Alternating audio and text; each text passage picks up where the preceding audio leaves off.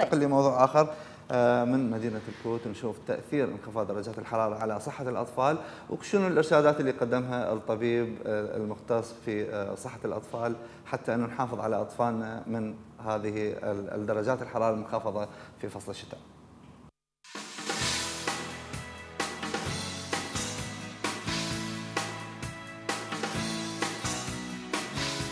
مرحبا أهلا وسهلا. إحنا برنامج أهل المدينة. أهلا وسهلا. قناه الشرقيه أهلا وسهلا بالشرقيه حياك الله. نحب نعرف تأثير موجة البرد عليكم وأنتم عندكم أطفال. بدنا نشوفك تراجع بالعيادة اليوم. والله طبعا تأثير البرد يعني تأثر على الطفل. صار عنده آه، التهاب بالإذن. فهو أثر عليه. موجة البرد أثرت عليه. نعم. طيب ما عندكم طرق يعني تعرفتوا عليها من خلال الإعلام أو من خلال الأطباء؟ شلون تحمون الطفل من هذه الموجة مال البرد؟ يعني هو أكثر الطرق الماشيه حال يعني ما تخلي الطفل يطلع برا. نعم. يعني يبقى ببطن البيت الطفل ما يطلع برا. هي هاي ال- توفر له وسائل تدفئة. وسائل تدفئة. نعم. يعني. زين نمشي على الطرق القديمة وهاي الطرق الحديثة شنو؟ والله إحنا جايين شعاطر القديمة ما تخلي يطلع ولا- مثلي أنت يعني هي تدفئة تدفئ الطفل يعني ما تخلي يطلع برا هي زين ما تعتمد على بيبيته على أمه شو اي على بيبيته اي إيه. شو تقول لكم عنه؟ يطلعون الطفل برا. ها هي؟ وبعد شو توفر له وسائل تدفئه بالبيت؟ يعني يغطى الطفل دائما راسه مش السالفه هاي. نعم. نتمنى له الصحة والعافية. أشكرك أشكرك. الله شكرا للشرقية أشكرك.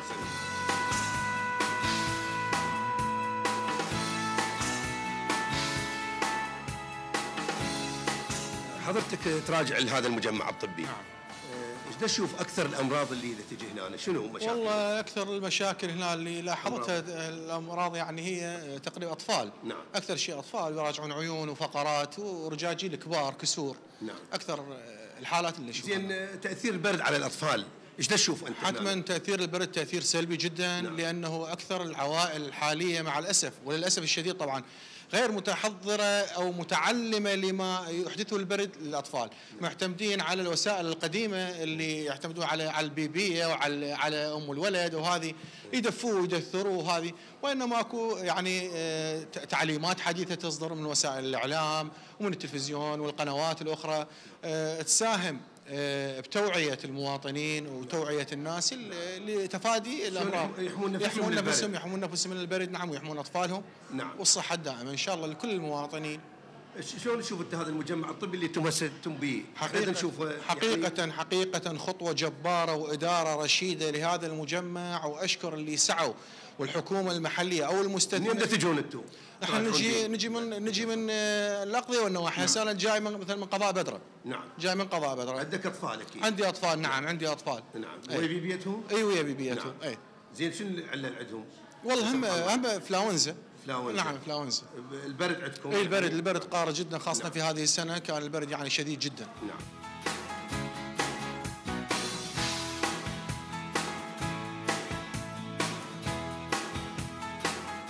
حجية بدنا نشوف إيش تراجعين للطبيب إي مريضة البنية مريضة واجيبها للطبيب صار لي تقريبا ثمان مرات أجيبها إيش قد عمرها؟ سنة وشهرين سنة وشهرين شنو تأثير موجة البرد على أطفالكم؟ والله باردة وإذا يضربهم الهواء راسا يتمرضون زين شنو الطرق اللي تحموهم بها؟ شنو؟ ندفيهم غير زين شلون؟ باي طريقة؟ شنو الملبس؟ شلون تسبحوهم؟ نلبسهم ما نسبحهم نخاف عليهم والله تخافون عليهم؟ إيه. زين شلون؟ نعم. ن- نسبحهم يعني الجو يدفى نخلي الصوبة بالحمام ندثرهم ننومهم نعم زين أكو مثلا أكو آه، يعني أمراض لا سمح الله شفتوها آه، جديدة على أطفالكم لا ما عندها شيء بس عندها نقص آه، كالسيوم نقص كالسيوم وين تأثيرها صار؟ وعندها بطء بالنمو. بطء بالنمو. إضافة إلى البرد. إي. هسه إحنا نشوفها منشوله لا ما منشولة بس هي هيك يعني رشح يصير عندها؟ إي. نتمنى لها الصحة والعافية. الله يسلمك يعطيك العافية. تسلمين. الله يسلمك يعطيك العافية. مرحبا أختي. الله إحنا برنامج أهل المدينة القناه الشرقية. وسهلا بك حياك الله. إيش اسمها الصغيره فاطمة. فاطمة. شنو إيش تشكو؟ متنقى وعندها ضمور هي هم. نعم. متنقى منين من البرد؟ إي قبل البرد. إيش قد صار موجة برد عندكم هنا في واسط؟ تقريبا أسبوع. أسبوع. أي. شنو تاثيرها على أطفالكم؟ هم يتنقون من البرد وحار والجو بارد ويتنقون. زين أنتم إيش تتخذون من التدابير حتى تحموهم من البرد؟ الصوبة ما اشيل والله هالنفطية بس الكهربائية. نعم. شنو تأثير الصوبة النفطية؟ احكينا عليه يعني يقول يتنق الصدر إيش ما ادري من الغاز مالها؟ أي الغاز ولا ثاني اكسيد كربون. أي. نعم. أي يقول يتنق بس الكهربائية؟ أي هسه بس الكهربائية. طيب إذا انقطعت الكهرباء شلون؟ ما اشيل اخاف ها؟ ما اشيل النفطية. أي. هسه جابتها للطبيب؟ أي الدكتور قاسم. إن شاء الله. إيش قد عمرها هي؟ سنتين. سنتين. عندك أطفال آخرين؟ أي هاي؟ ثلاثة عندي. آه، أكيد أثر عليكم البرد. أي هم كلهم قحة ونشلة. زين. ادويه تشوفونها زينة؟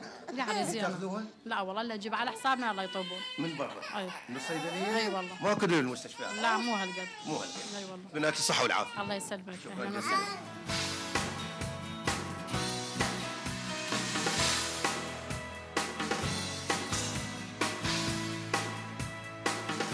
دكتور مرحبا. أهلا وسهلا أستاذ صلاح. الله يحييك. إحنا برنامج أهل المدينة من قناه الشرقية. أهلا وسهلا بكم. قناة الشرقية الحبيبة الغالية قناة كل العراقيين. الله يسلمك دكتور. نريد نسألك عن كيفية وقاية آه، أبناء أهل المدينة من موجة البرد اللي أصابتنا مؤخرا. بسم الله الرحمن الرحيم. طبعا آه، مما لا شك فيه بأن موجات البرد من العوامل ال- المؤثرة جدا وبشكل مباشر في صحة الإنسان وخصوصا الأطفال. نعم. آه، اذا ان تقلبات الطقس والمناخ آه، التي يتعرض لها الطفل من درجات تغيير في درجات الحرارة والبرودة العالية والأمطار تسبب أمراض لا سيما في الجهاز التنفسي للطفل. نعم. وهذه الأيام يمر البلد بموجة برد غير مسبوقة تقريبا وبعض العوائل الكثيرة آه، تعاني من شحة في مستلزمات التدفئة وفي مستلزمات السكن الملائم. أو حتى طرق التدفئة. نعم. يعني حتى لو توفر عنده بس ما نعم. يستخدمها نعم. صح. نعم.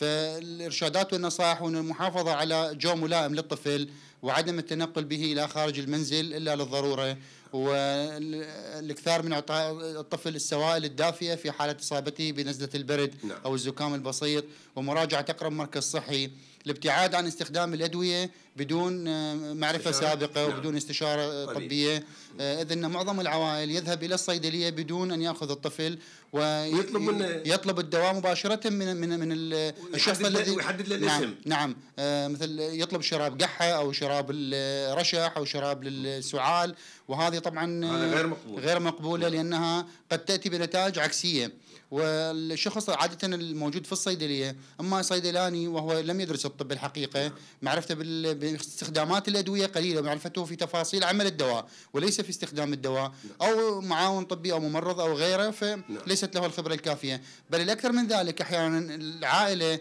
آه، تذهب إلى الممرض القريب من المنزل ويطلب ابره إيه، إيه، الفلانية. ابره للسخونه وابره للقحة وقد ي- يترك الطفل يومين أو ثلاثة أيام فتسوء حالته بشكل كبير.